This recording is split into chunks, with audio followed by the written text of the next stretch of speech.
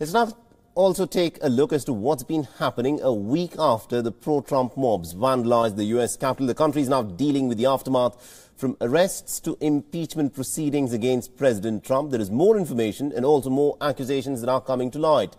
The latest, of course, is Democrat lawmaker Mikie Sherrill, who's now made a pretty startling claim on Facebook. A day before the riots on the 5th of January, she had colleagues allegedly leading groups on a reconnaissance tour of the building. On a Facebook Live, she said that she plans to hold those Republicans accountable for this.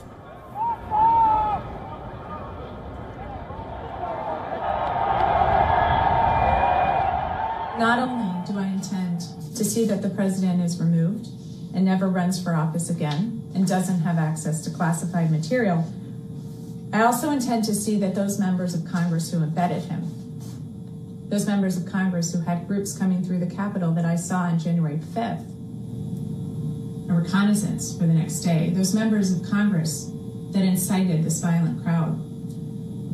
Those members of Congress that attempted to help our president undermine our democracy.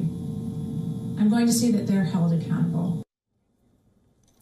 Now, Sherrill did not specifically identify as to which lawmakers she saw leading groups through the Capitol, but her allegation comes as lawmakers continue to seek answers about the extent of planning and coordination behind the violent assault on the Capitol.